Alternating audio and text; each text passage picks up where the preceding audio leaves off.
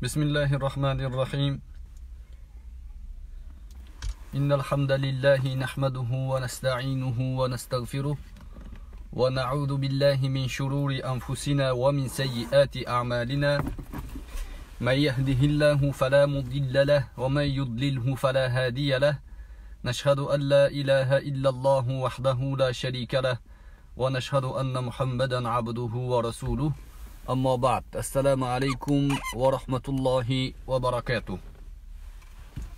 Hali bir e, yig'inda edim o'shaning uchun u joyda biroz umumiyroq suhbat qilish e, bilan cheklandim. Vaqt biroz o'tib ketayotgandek e, bugungi munosabatimiz eskirib qoladigandek o'zimni e, mas'ul majbur ya'ni qanday e, gunohkor his qilib e, turgandek qolganim uchun u joyda ham jonli muloqot qayerda suhbat bo'lsa ko'ryapman. Bu to'g'risida to'g'riroq e, endi aql ilm va asosga ko'ra munosabat bildirishlik kerakligini his qilganligim uchun yana jonli muloqotga chiqdim. Peshinga biroz vaqtimiz bor. Hodisa to'g'risida to'xtalishimiz kerak. Nima bo'ldi? Nimaga bunday e, voqea hodisalar bo'lyaptida. Biz musulmonlar qanday pozitsiyada qanday mavqifda bo'lishimiz kerakligini mm, suhbatlashsak. Payg'ambarimiz sollallohu alayhi vasallam e, avval aytganimizdek e, islom ummatining asos shaxsiyati hisoblanadi. Kimda kim rasululloh sallallohu alayhi vasallamga iymon keltirmasa u zotning payg'ambar ekanliklariga e, tasdiqlamasa musulmon hisoblanmaydi. Biz mana bu e, sunnat inkorchilarini o'shaning uchun butun islom ummati e, musulmon emasligini tasdiqlashini sababi ham shu. Yana ba'zi o'rinlarda mm, payg'ambarimiz sollallohu alayhi vasallamga nisbatan haqorat kalimalarini ishlatayotgan odamlarni musulmon deb bo'lmaydi. Nima uchun? Payg'ambarimiz sollallohu alayhi vasallamni haqorat qilish u zot sollallohu alayhi vasallamga nisbatan kamsitish masxara qilish kufr amali ekanligida ittifoq bor. Hech kim bunga ixtilof qilmagan. Ya'ni mazhablarga ko'ra gap yo'q bu joyda. Hamma mazhab bir ovozdan barcha tariqalar bir e, ya'ni maqsadda bu mavzuning kufr ekanligiga ijmo qilishgan. E, e'tibor berayotgan bo'lsangiz amalni kufr deb aytyapman. Shaxsning bir odamning kofir ekanligi mahkamani ishi. Uni siz hozir biz turib olib palonchi kofir deya olmaymiz. Lekin kufr kalimasini aytsa u kofir odamni ishini qilgan bo'ladi.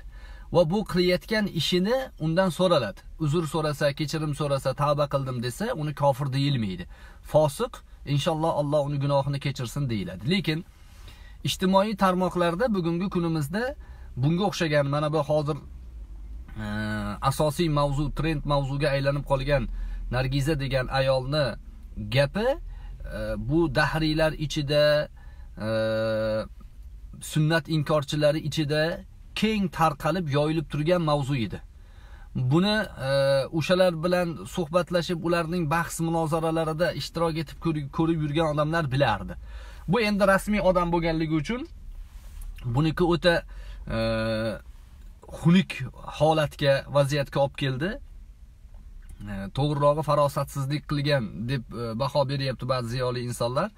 Ba'zilar o'sha odamni oqlashga harakat qilyapti. Ya'ni tavil qilishyapti. Mana bu hozir e, turon yigirma to'rtda ishlayapman degan minbardan chayon janrini qahramonlaridan biri sardor salim degan bola u xotinni yaxshi taniyman mana bu bahsda kritika qilmoqchi bo'lgan kritikani noto'g'ri tushunyapsizlar musulmonlar unaqa tushunadigan odam emas qilib yana o'zi shunaqa vaziyatlarda o'shalar tarafiga o'tib olish bilan mashg'ul edi. Bular dahriy o'zi musulmonman namoz o'qiyman degani bilan dahriylarni tushunchalari dahriy fikrlarini qo'llab quvvatlashlikda e, xohlagan tavilini topa oladigan sardor salim himoya qilib yotibdi. Endi o'sha joyda hayot baxtiyor o'g'li degan bola kim u? U anavi jigari kasal rahim turdini ukasi. Oilaviy bular provokatorlar. Oilaviy.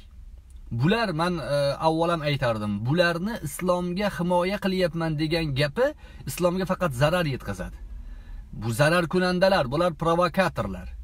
U o'sha joyda bir ahmoqlik qilib e, bir gapni yozgan unga javob tariqasida demak shunaqa desang buni ma'nosi shunaqa ekan deb rasulullohni haqorat qilgan.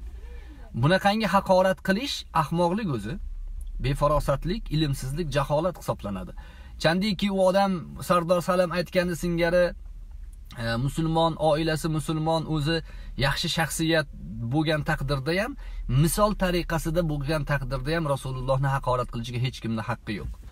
Alloh subhanahu va taolo e, payg'ambar sollallohu alayhi vasallamni haqorat qilgan masxara qilgan odamlarni ko'p misolini keltirganmiz. Tavba surasida e, abillahi va ayatihi va rasulihi kuntum tastahzi'un la ta'tadiru qad kafartum ba'da imanikum degan.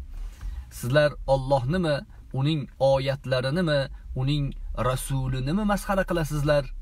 Uzr aytmanglar va tahqiq iymon keltirganinglardan keyin kofir bo'ldinglar degan. Mana bu oyati karima payg'ambarimiz sollallohu alayhi vasallamga haqorat e, masxara kamsitish ma'nosida ishlatilgan kalimalarni mutlaq o'z ichiga oladi. Hazillashib aytuvdim gap o'yini qilib turuvdik kommentariyada bilmasdan yozib yuboribman degan gaplar uzr bo'lmaydi.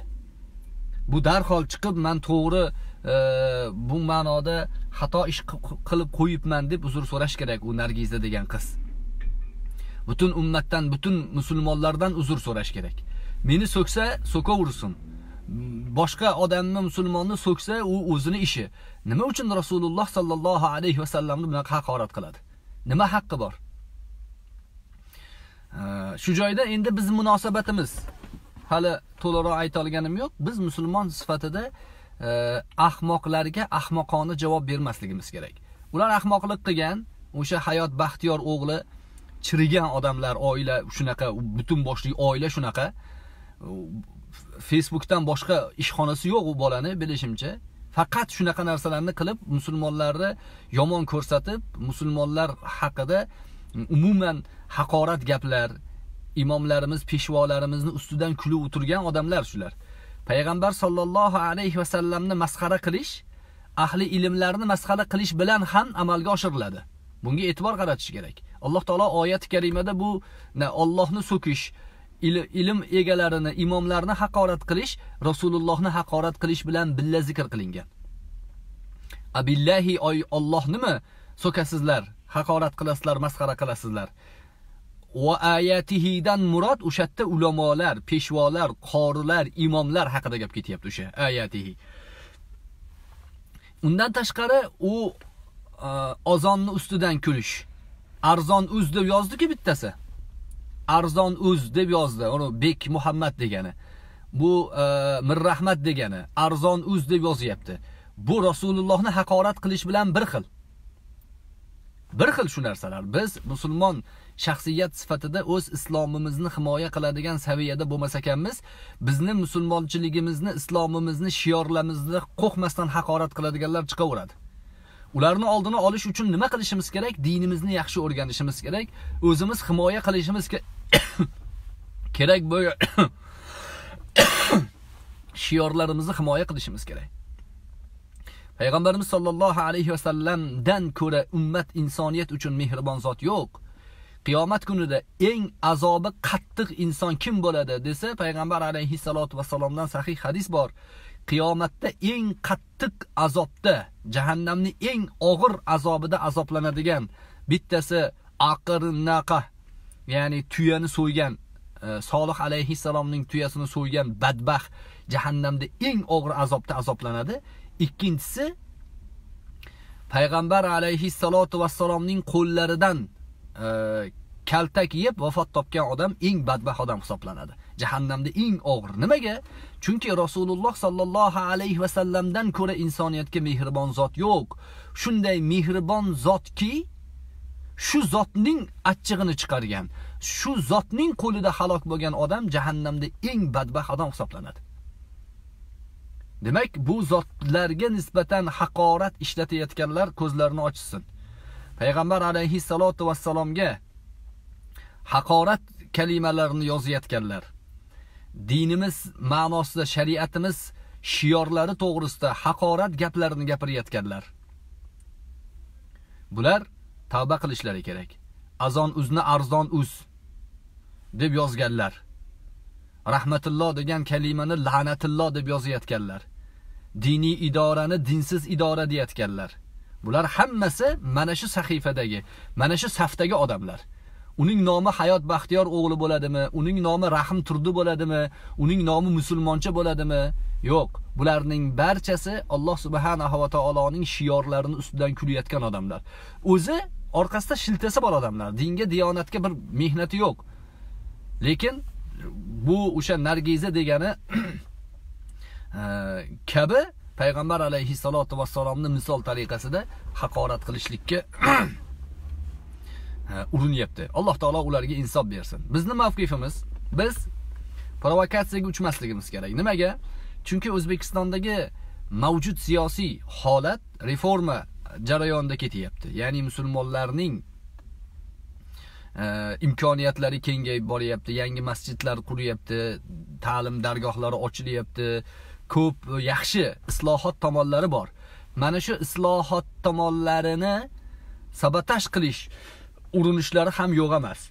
Ro'mol masalalari soqol masalalariga o'xshagan mavzularni provokatsiya qilish va mana bu hozirgiga o'xshagan payg'ambar alayhissalotu vassalomni haqorat qilishlik oqibatida musulmonlarni jumbushga keltirish ularning qonini qaynatish ulardan hayajon orqasida xato qilishligini kutish bunga o'xshagan narsalar hassos mavzular ehtiyot bo'lish kerak. U nargiza degan xotinga shaxsiy tashabbus bilan kimdir borib e, jazo bermasligi kerak. Hargiz hargiz. Islom ummatining nomidan bunday harakat qilishga hech kimning haqqi yo'q. Uni qonuniy asosda e, inshaalloh biz ham qo'limizdan kelgan harakatni qilyapmiz. E, rasmiy idoralarga e, diniy idora diniy qo'mita din ishlari bo'yicha mas'ul shaxslarga arizalar shikoyat xatlarini yozish kerak.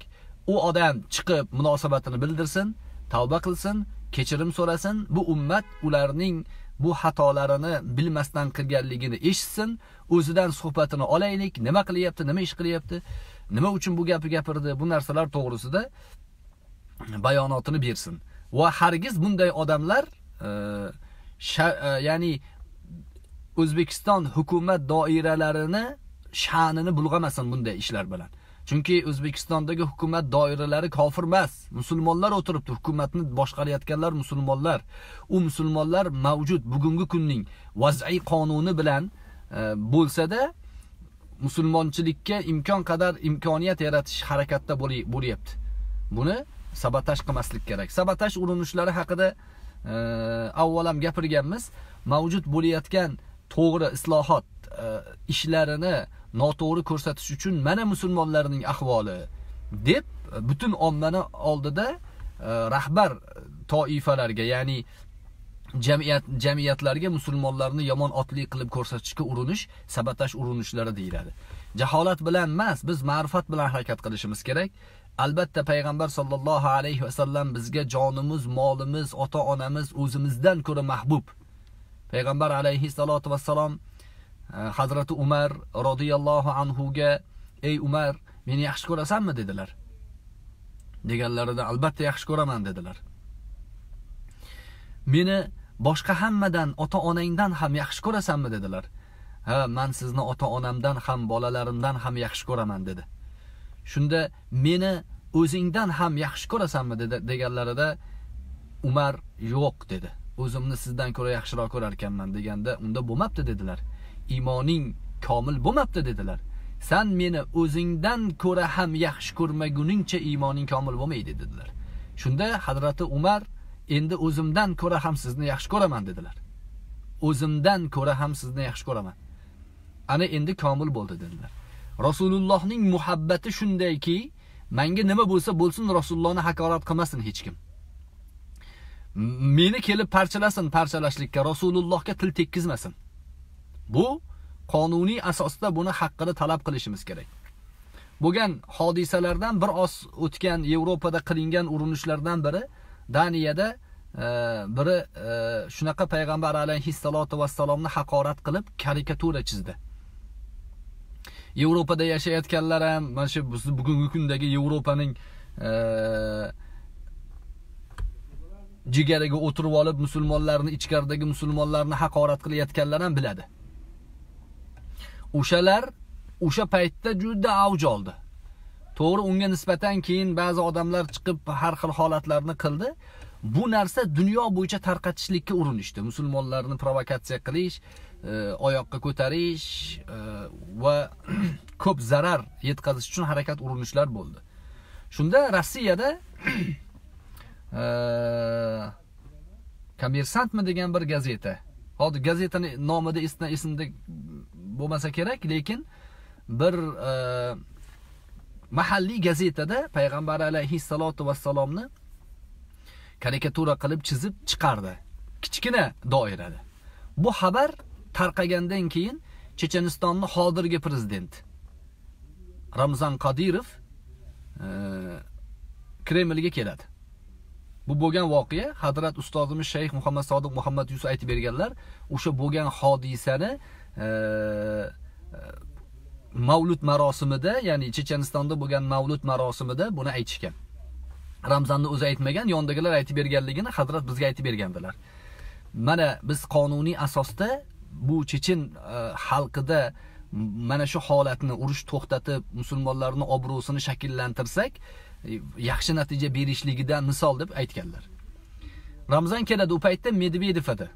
Prezident va medvedevni oldiga kiradi aytadiki shunaqa ekan payg'ambar alayhissalotu vassalomga nisbatan haqorat karikaturasini tarqatyapti ekan rossiyada buni to'xtatishlikka menga yordam bering rossiya qonunlari bo'yicha yordam bering ya'ni rossiya qonunlari bo'yicha bunga kechirim so'rasin tavba qilsin to'xtatsin yo'q rossiya qonunlarida bu so'z erkinligi karikatura chizaveradi desangiz degan ramzan man unda shariat qonuni bo'yicha bunga jazo qo'llayman o'zim. Chunki shariat islom um-, ummatning eng nozik nuqtasi bu. Ummatning nomusi bu. Ummat nomusiga tegyapti bu. Yo'q shariatni aralashtirma hozir shariat e, e, qonuni rossiyada emas bu yerda biz o'zimizni qonun desangiz degan ramzan taklif qilyapti. Unda chechenni qonunini ishga solaman degan. Bino pinosi bilan yo'q qilib yuboraman degan.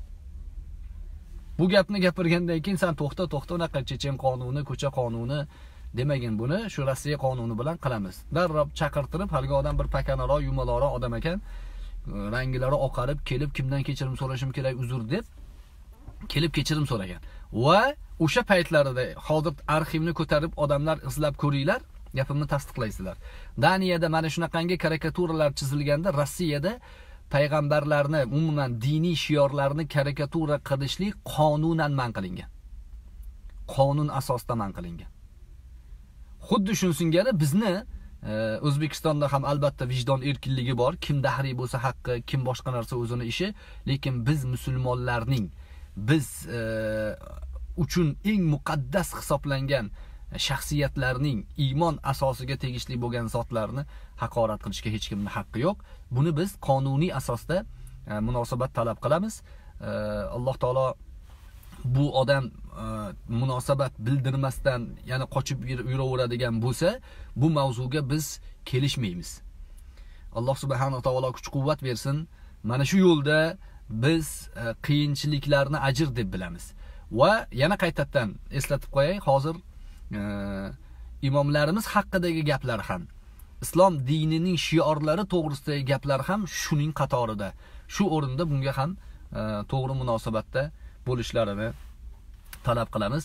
Alloh taolo islom ummatini o'zi birlashtirsin. Payg'ambarimiz sollallohu alayhi vasallam o'zi zotan yer yuzida eng ko'p haqorat qilinayotgan zot muhammad sollallohu alayhi vasallam. Va yer yuzida eng ko'p maqtalayotgan zot ham rasululloh sollallohu alayhi vasallam. Bu albatta e, haq yo'ldagi insonning e, profili shunaqa bo'ladi. Nabiy sollallohu alayhi vasallamning dushmanlari naqadar ko'p nabiy sollallohu alayhi vasallamning do'stlari ham shu qadar ko'p. Alloh subhanahu va taolo qur'oni karimda rasululloh sollallohu alayhi vasallamning sha'nlari to'g'risida u zotning ibrohim degan o'g'illari vafot topganda mushriklar gap tarqatdi. Odatda erkak kishining zurriyodi nasli erkak kishi bilan davom etadi. Mana payg'ambarman deb da'vo qilayotgandi da'vosiga merosxo'r sifatida ibrohim o'g'li borligini o'ylab yuruvdi. Mana ibrohim o'ldi buning or orqasi kesildi.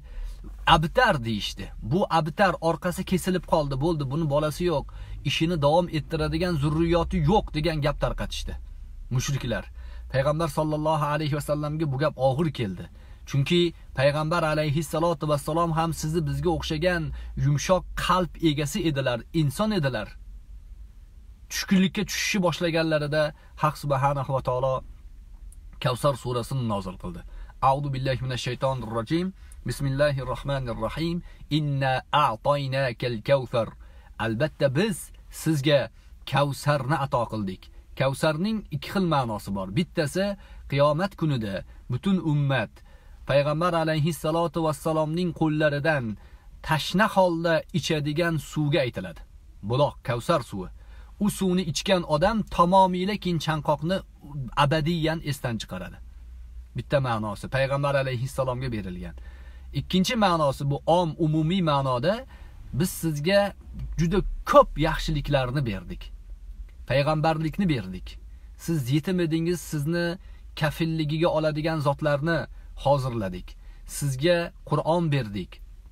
Sizga nubuvvatni berdik risolatni berdik va juda ko'p yaxshiliklarni ato qildik. Sizga munosib bo'lgan ummatni berdik. Sizga munosib bo'lgan juftlarni berdik. Sizga munosib bo'lgan sahobalarni berdik. Eng yaxshi E, saviyada sizga yaxshiliklarni berdik. Shu yaxshiliklarning hammasi kavsar kalimasini ichiga o'z ichiga oladi. Fasolli li robbika vanhar shundoq ekan o'sha yerdagi fo sababiyya yuqoridagi berilgan ne'matning evaziga namoz o'qing. Fasolli namoz o'qing vanhar qurbonlik qiling. Bu oyatni ikki xil ma'nosi bor. Fasollidan murod qurbonlik namozi vojib shu dalolat qiladi. Eid qurbon namozi vanhar tuyani nahar qilib kesiladi. Tomog'idan emas bo'ynini eng oxiridan kesiladi. Ikkita joydan kesiladi. O'sha nahar tuyaga ishlatilyapti ikkinchi ma'nosi namoz o'qiganda qo'lingizni e, ko'kragingizga qo'ying degan ma'nosini boshqa imom shofiy mazhabidagilar ba'zilar olishgan. Lekin umumiy ma'noda namoz o'qing va qurbonlik qiling. Deb degan ma'noda. Inna shaniaka huval abtar. Sizni sha'ningizda turli xil nomaqul gaplarni tarqatayotgan sizni haqorat qilayotgan sizni abtar bu orqasi kesik deyotganning o'zining orqasi kesik. O'sha payg'ambar alayhissalotu vassalom haqida gap tarqatayotgan odamni o'nga yaqin farzandi bor edi. U zurriyotlardan maqtanardi. Meni ishimni davom ettiradigan odam bor. Mana muhammadni o'g'li qolgani yo'q. Uni faqatgina ibrohim degan o'g'li bor edi u ham o'ldi deb e, rasulullohni masxara qilayotganda alloh subhanahu va taolo o'sha masxara qilayotgan sizni kamsitayotgan odamning o'zi abtar o'zi dedi. Uni zurriyotlari bir kechada vafot topdi undan keyin orqasidan uni e, avlodi quridi lekin nabiy sollallohu alayhi vasallamning o'g'il farzandlari bo'lmasa-da nabiy sollallohu alayhi vasallamning ishlari bugunga qadar va qiyomatga qadar g'olib bo'lib boraveradi. La tazalu toifatun min ummati zohirina alal haq. Nabiy sollallohu alayhi vasallam mening ummatimdan bir toifa insonlar qiyomatga qadar zoyil bo'lmasdan g'olib holda davom etadi dedilar. La yadurruhum man xolafahum bu ummatning o'sha g'oliblariga muxoliflarning hech qanday zarari tegmaydi dedilar. Va boshqa bir hadislarida al ulama varasatul anbiya dedilar. Ulamolar payg'ambarlarning merosxo'rlari ular payg'ambarlarning ishlarini davom ettiradi dedilar. Albatta payg'ambarlar meros qoldirganda moli davlat qoldirishmaydi ular ilm qoldirishadi dedilar. Mana shu ilmni olib davom ettirayotganlar rasululloh sallallohu alayhi vasallamning merosxo'rlari va u zotlarning e, ishlarini davom ettiradiganlar hisoblanadi. Shuning uchun payg'ambar alayhissalotu vassalomni himoya qilishlik u zotning atroflaridagi shiorlarni ham himoya qilish bilan amalga oshiradi. Faqat rasulullohni himoya qilyapman degan gap quruq gap u ulamolarimizni himoya qilishimiz imomlarimizni himoya qilishimiz shiorlarimizni himoya qilishimiz dinimizni himoya qilishimiz rasululloh sollallohu alayhi vasallamni himoya qilishlik sirasidan hisoblanadi. Alloh subhanahu taolo bu e, vaziyatlarda inshaalloh yaxshilik oqibatida yaxshilik bo'ladi. Hazrat e, ustozimiz o'sha daniyadagi bo'lgan voqealarda aytardilar rasulullohga otilgan toshlar ham bir kun kelib rahmatga sabab bo'ladi. Ya'ni alloh subhanahu va taolo uning hikmatini chiqaradi. Daniya e, yevropa germaniya boshqa boshqa mamlakatlarda E, to'rt baravar besh baravarga ortib ketdi islomni o'rganish. O'sha voqeadan keyin. O'sha черный piar to'ji piar degandek e, reklamani yomoni bo'lmaydi. Yomonlash oqibatida islom kuchayib ketdi yevropalarda. Eng ko'p ism muhammad ismi bo'ldi o'sha yili. Daniyada bo'lsin germaniyada bo'lsin eng ko'p e, qo'yilgan ism muhammad ismi bo'ldi. Inshaalloh buni ham alloh nasib qilsa hikmati bor. E, Payg'ambar alayhissalotu vassalomning e, shunday mo'jiza e, sifatlari borki u zotga tegilgan sari sha'nlari ortib boradi. Alloh subhanahu va taolo nazdida alloh subhanahu va taolo u kishining sha'nlarini oshirib qo'ygan boshqalarning haqorat qilishligi o'zlarini o'sha haqorat qiladiganlarning o'zlarini sha'nini tushiradi. Hargiz rasulullohning sha'nlariga ularning kuchi yetmaydi. Alloh subhanava taolo barchalarimizni hidoyatda bardavom qilsin. Nabiy sollallohu alayhi vasallamga bo'lgan muhabbatimizni haqiqiy muhabbatlardan bo'lishini nasib qilsin. Dunyoda u zotni biz ko'rolmadik. U zotning davrlarida yasholmadik. Lekin yil o'tib bir qancha vaqt o'tsa-da u zotni ko'rmasdan muhabbat qildik. U zotga iymon keltirdik. U zotni dunyoda ko'rolmaganligimiz mukofoti o'laroq qiyomat kunida u zotning saflarida majlislarida tirilishimizni alloh taolo o'zi nasib qilsin. Payg'ambar sollallohu alayhi vasallamning suhbatlarini bu dunyoda eshitolmagan bo'lsak-da qiyomatda u zotning suhbatlarini barchalarimizga xudo taolo o'zi musharraf qilsin. Subhanakallohumma va bihamdik nashhadu an la ilaha illa anta va nastag'firuk va natubu ilayk. Va akhiru da'wana anil hamdulillahi robbil alamin. Assalomu alaykum va rahmatullohi va barakatuh